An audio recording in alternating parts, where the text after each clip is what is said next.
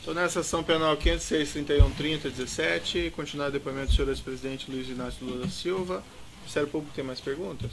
Só um último esclarecimento, é, ainda recorrendo é, ao depoimento de Antônio Palocci, que neste ponto em particular, ele é corroborado por elementos que estão nos autos, que dizem respeito à famosa planilha italiana, é, há uma menção a alguns saques. Eu só pediria a Vossa Excelência, a questão do corroborado é, é, um juízo de valor.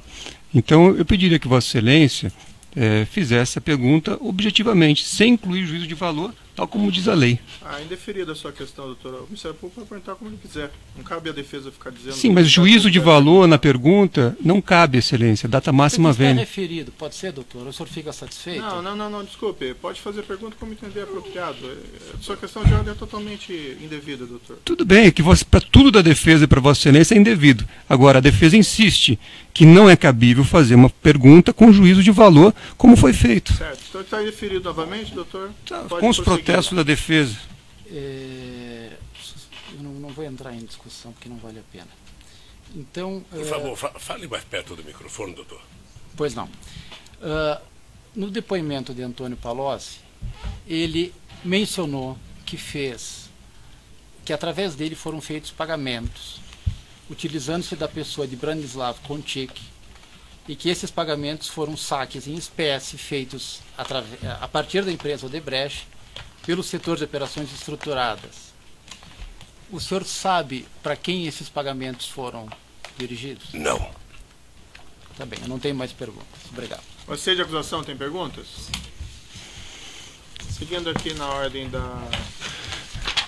Excelência, eh, a defesa técnica não fará perguntas e orienta também ao depoente que eh, não responda a pergunta de outros defensores respeitosamente, tendo em vista que majoritariamente se tratam de delatores ou candidatos a delatores. Perfeito. De todo modo, eu vou passar a palavra aos defensores, que se quiserem façam ou não as perguntas, e evidentemente o, o acusado, se quiser ou não, responde, e seguindo a orientação. A defesa técnica. da, da orientação de defesa, então, a defesa técnica de Antônio é. Palocci Filho tem perguntas? Tem perguntas. A defesa de Branislav Contigo tem perguntas? Tem perguntas. A defesa de Demerval Guzmão tem perguntas? Sem perguntas. A defesa de Glauco Costa Marques tem perguntas?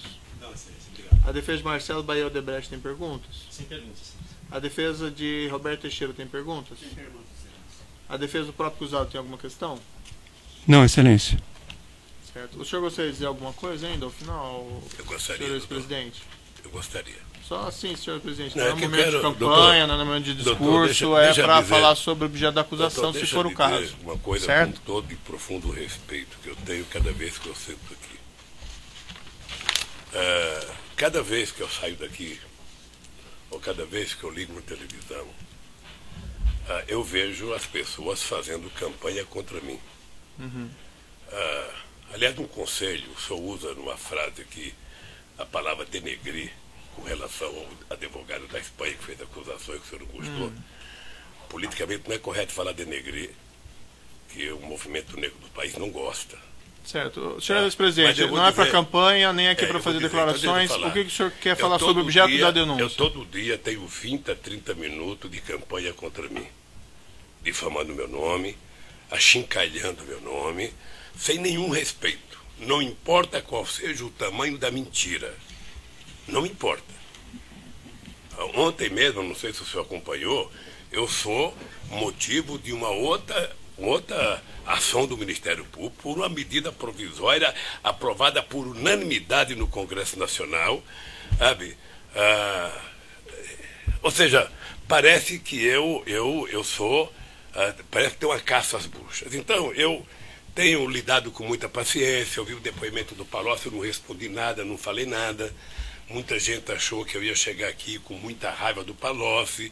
Eu achei que o Palocci está preso há mais de um ano. O Palocci tem o direito de querer ser livre, tem o direito de querer ficar com um pouco do dinheiro que ele ganhou fazendo palestra. Ele tem família. Tudo isso eu acho. O que não pode é se você não quer assumir a tua responsabilidade pelo fato ilícito que você fez, não jogue em cima dos outros.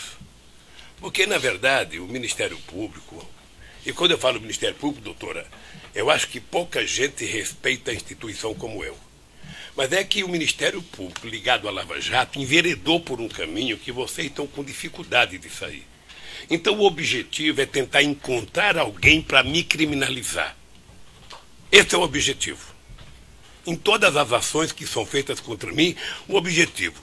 Esses dias eu fiquei sabendo de uma pessoa que foi prestar depoimento na Polícia Federal, de 28 perguntas, 26 foram sobre o Lula. Qual a pessoa?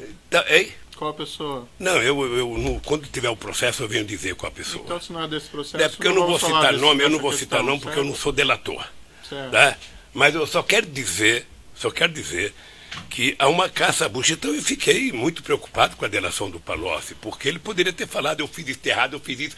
Ele, sabe, espertamente dizia, olha, não é que eu sou santo e pau no Lula. Não é que eu sou santo, que é um jeito de você conquistar veracidade na tua, na tua frase. Eu fiquei com pena disso. Né?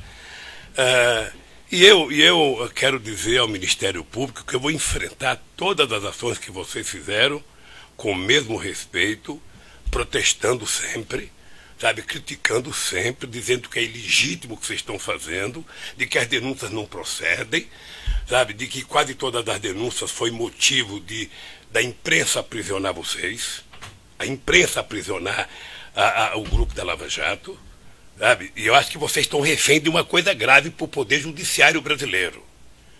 Nós estamos vendo o que está acontecendo com o Janot. Estamos vendo. Ele, se, se ele, eu, eu prestei, de, doutor, eu prestei depoimento. Eu prestei depoimento para esse procurador. É, mas, Eu prestei assim, depoimento, três depoimentos. Esse é um, esse é um processo aqui, ah, envolve essa acusação específica. Eu vi. Não tem nada a ver com Brasília, não tem nada a ver lá com o doutor Doutor. Janot, não tem nada a ver com a imprensa, tá? Então, assim, tem alguma consideração específica Doutor, sobre isso? Tem, doutor, eu vou Tá. dizer. Se ele só permite foi feito dizer- referência, inclusive, a reportagens jornalísticas aqui, então me parece apropriado. Não, doutor, é o seguinte, doutor.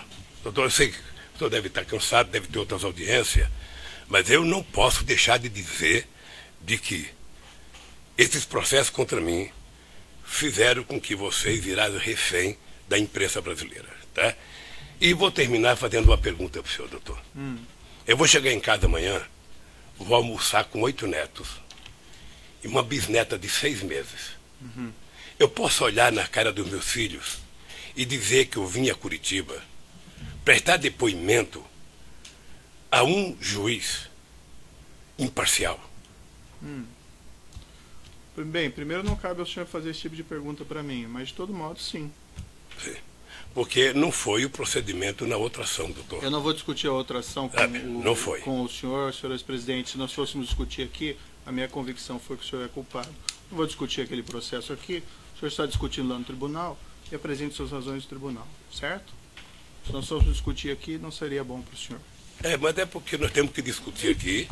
Então eu vou interromper eu vou continuar. Certo, esperando que a justiça faça justiça nesse país. perfeito. Pode interromper a gravação.